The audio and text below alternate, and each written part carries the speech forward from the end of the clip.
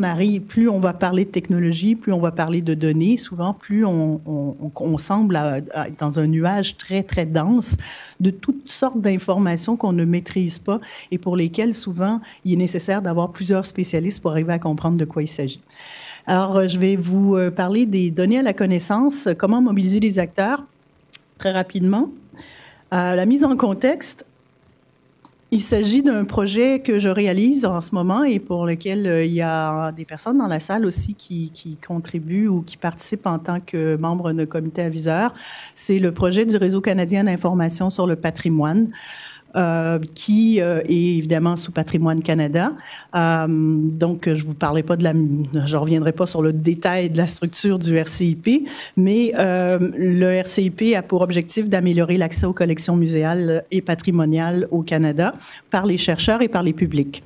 Il y a donc des portails, donc dont Artefact Canada.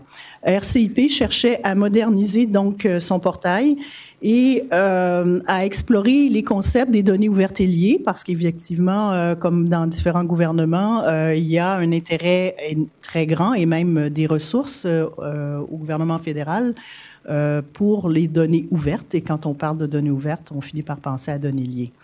Il y a donc eu deux projets et il n'y aura pas beaucoup d'images. Habituellement, je prends beaucoup d'images, je fais beaucoup de navigation, mais comme il s'agit d'un programme de formation, j'ai pas beaucoup de choses à vous montrer. Alors, il y a des liens et vous trouverez toutes ces informations-là dans la présentation qui sera déposée évidemment sur le site. Euh,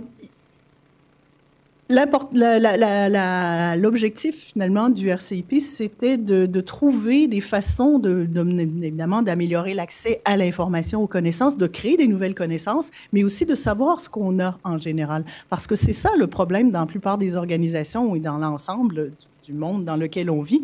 On ne sait pas ce qu'on sait. On a plein de données, on a plein d'informations, mais on oublie et on est incapable de, souvent de, même de, faire un inventaire de nos connaissances. Alors qu'on pourrait, si on avait cette possibilité-là, on pourrait produire de la nouvelle connaissance, faire des, on parlait du raisonnement, des inférences. Donc, les données ouvertes et liées, euh, ça a été l'approche qui a été privilégiée pour euh, moderniser cet, euh, cet accès. par, pourquoi? Parce que, bon, d'abord, on, on accroît évidemment la visibilité sur les collections muséales. Euh, quand on dit accroître la visibilité, j'ose pas utiliser un terme qu'on utilise souvent qui s'appelle découvrabilité. Il s'agit pas ici de découvrabilité par des moteurs de recherche, mais par nos propres moteurs, nos propres outils de découvrabilité, parce que ça commence par nous euh, nécessairement. Il n'y a pas que les offres commerciales qui sont sur les, sur les moteurs de recherche.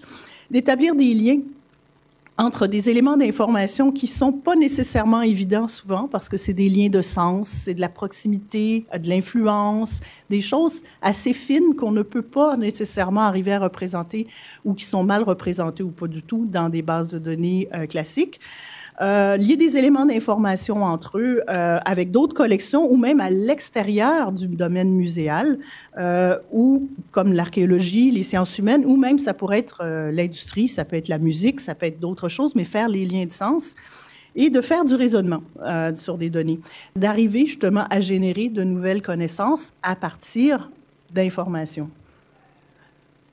Cette étape-là, incontournable, euh, c'est de travailler avec des musées contributeurs. Pour ça, ben, il faut les sensibiliser à l'importance des données ouvertes.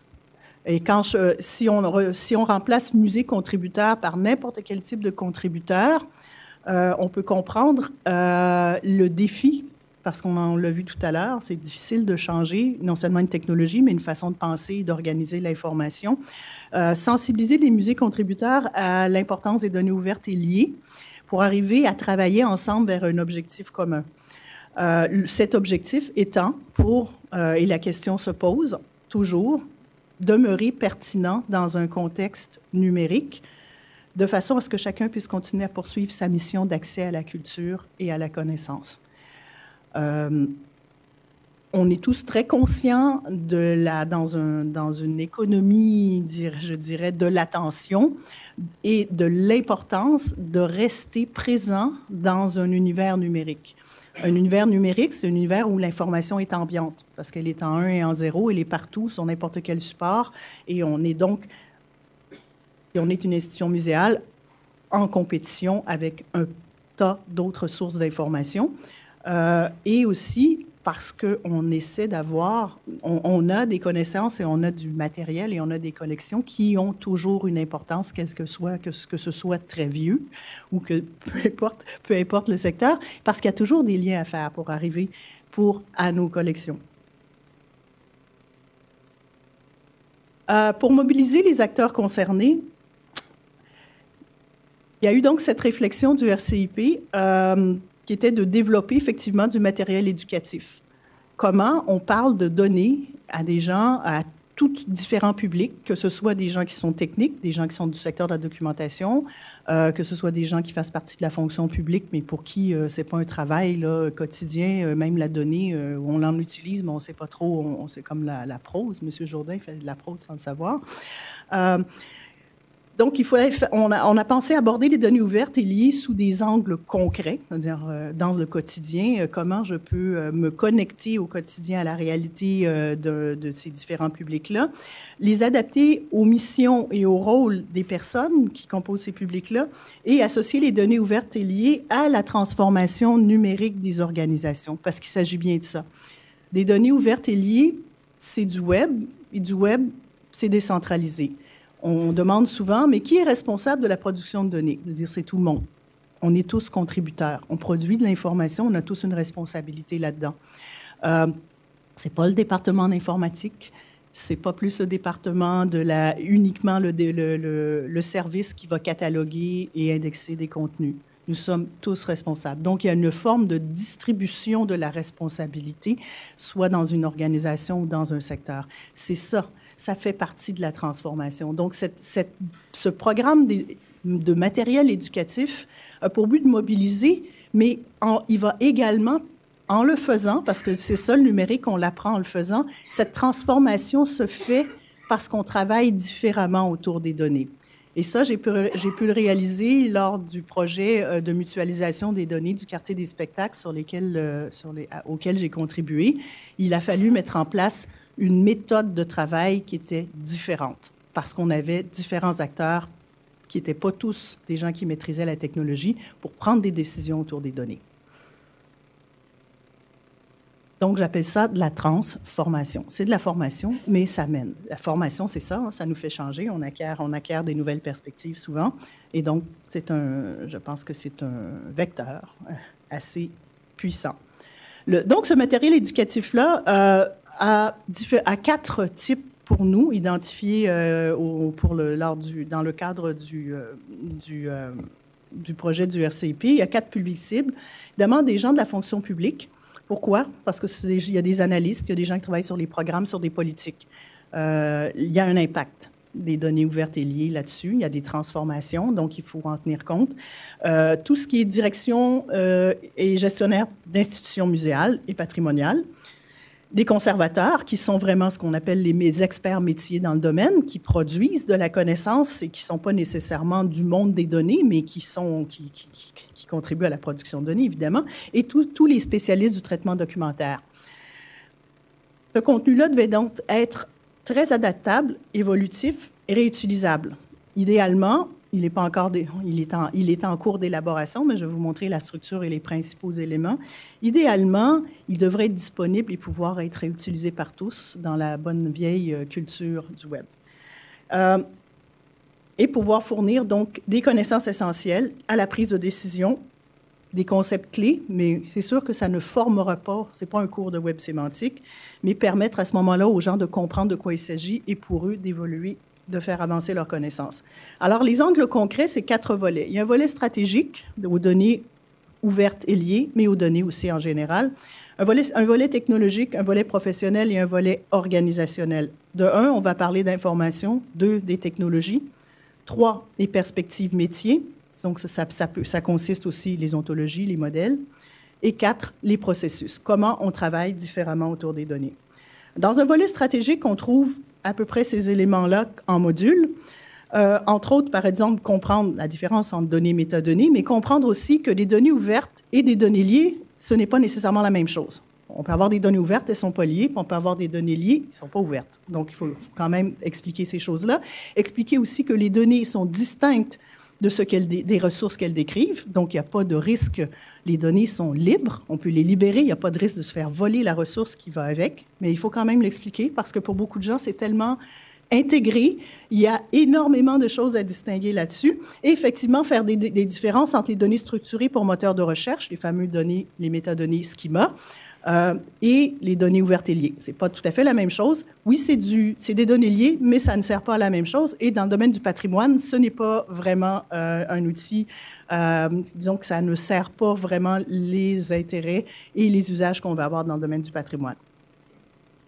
Volet technologique, grosso modo, on va, trouver, on va parler d'évolution des moteurs de recherche, du web des documents, web de données, du web sémantique, les principales notions techniques, RDF, qu'est-ce que, euh, qu'est-ce que RDF versus dans le domaine du patrimoine, on a, on a certains, euh, certains standards habituels et des, des, euh, des, enjeux qui sont importants avec des bons exemples, des agrégations de données et des projets collectifs comme le projet Europeana, American Art Collaborative.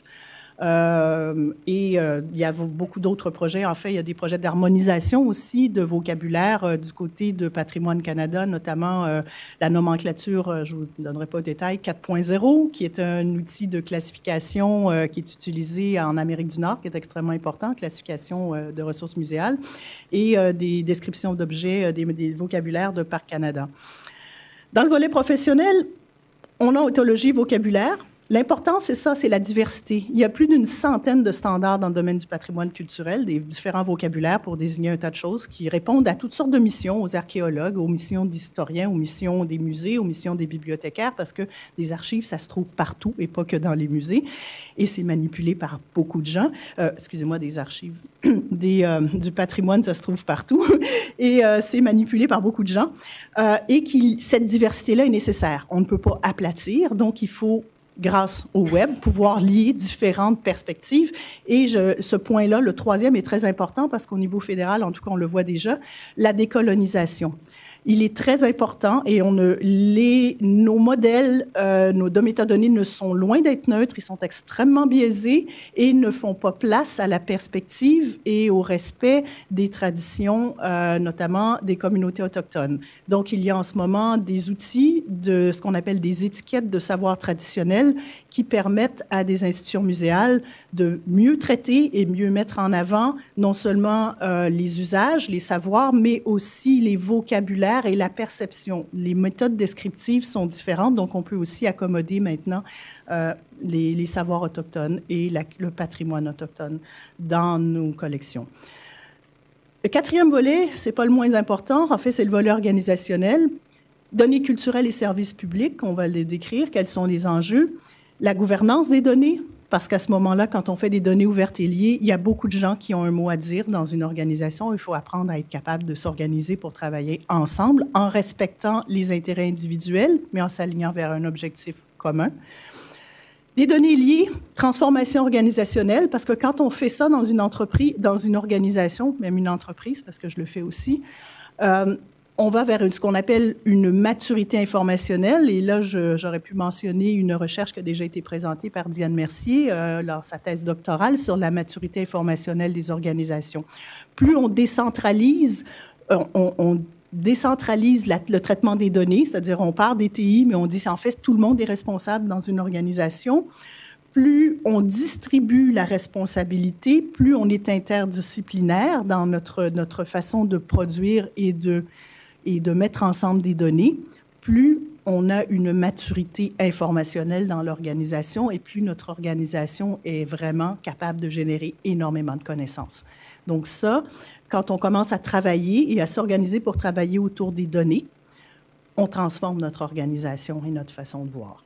Euh, les gens qui ont travaillé déjà ou qui contribuent à Wikipédia comprennent ce que je veux dire. C'est que notre façon, quand on commence à contribuer, à être sur des plateformes contributives comme Wikipédia, OpenStreetMap et tout le reste, on comprend cette logique-là. On ne contrôle pas tout, mais le résultat est, vraiment beaucoup plus efficace.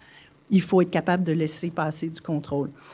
Euh, et le quatrième point qu'on va aborder dans un module, c'est comment on organise la résilience des projets. Parce que c'est bien beau des projets de données. On en a vu des projets de données ouvertes, on a vu des projets de données ouvertes et liées. Des projets, souvent, n'ont pas ce qu'il faut pour être résilients.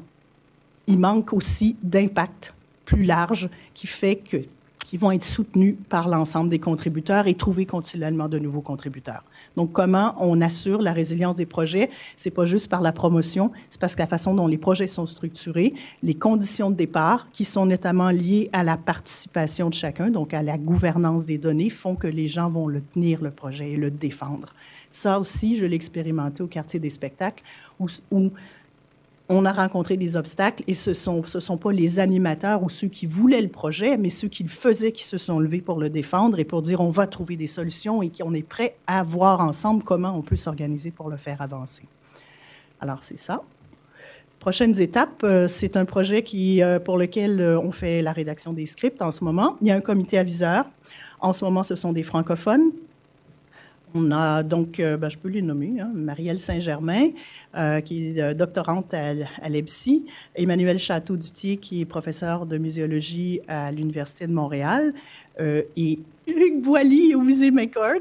Donc, euh, on a des gens qui, viennent de divers, euh, euh, disons, horizons, techno, sciences d'information, muséologie, c'est, on, a, on a un bon cocktail, et de très, très, très, très bons, des bons critiques. on va faire des essais au sein, cet été, d'ici la fin de l'été au RCP avec certains des publics cibles. Donc, on va tester ces formations-là. Euh, on va donc après ça développer la version anglaise et repasser au travers d'un autre comité aviseur parce qu'il faut l'étendre. Et euh, donc, euh, on va continuer à faire des adaptations, partage de références et gestion des liens. On se demande est-ce qu'on met ça sur GitHub, sur quelle plateforme on va mettre les liens qu'on veut partager? Parce qu'en même temps, oui, on fait une curation, des liens vers du matériel, des outils d'auto-apprentissage, euh, euh, des, des, outils qui nous permettent de traiter de la donnée. Donc, on va pouvoir regrouper, qualifier certains, certaines ressources. Mais ce qui est également important de faire, parce qu'on s'en rend compte quand on fait un travail comme ça, c'est qu'il y a déjà énormément d'initiatives un peu partout. À l'Université de Toronto, notamment, il y en a dans l'Ouest. Il y a aussi des gens qui ont des initiatives justement avec euh, des communautés autochtones pour essayer de d'être effectivement beaucoup plus inclusif dans la façon dont on décrit des ressources. Et on se rend compte aussi, en parlant d'inclusivité, que lorsque on adapte nos modèles descriptifs à différentes communautés, ces communautés-là sont beaucoup plus engagées donc, euh, c'est un peu étonnant des fois d'avoir autant de collections de, de, patrimoine autochtone et d'avoir si peu de gens de ces communautés-là qui viennent, qui participent et qui s'intéressent. Pourquoi? C'est parce que c'est décrit selon une perspective qui ne, les, qui ne leur parle absolument pas. Donc, si on réfléchit beaucoup là-dessus, on est capable du côté de la muséologie de pouvoir développer des, énormément de projets assez intéressants. Donc voilà, euh, le, l'objectif ultime de ce type de travail-là, c'est de pouvoir donner à ce moment-là une base pour, pouvoir développer des formations. Donc, on pourrait faire, c'est le fameux remix de la, culture numérique. Vous prenez le document, vous l'adaptez, vous partez de là, vous rajoutez. Idéalement, si on pouvait avoir une plateforme euh, qui nous permette à tous de rentrer dedans, d'aller se servir ou d'arguments, ou même de dupliquer et de créer notre propre matériel, ce serait très bien. Mais ça permettrait à ce moment-là de pouvoir s'approcher des différents besoins, de pouvoir, euh, euh, je dirais, adapter les contenus à différents besoins et approfondir. Parce qu'on va le voir dans certains, certains publics qu'on a, on a des gens qui sont techniquement très avancés, donc on peut faire des démonstrations et des manipulations. Et il y en a d'autres pour qui on va rester au niveau stratégique, parce que c'est ça le but c'est de les rendre juste capables de comprendre ce qui est en train de se passer pour voir qu'est-ce qu'on doit adapter dans nos, dans nos projets, dans nos programmes et dans nos politiques. On n'a pas besoin nécessairement de manipuler les données. Et voilà, merci.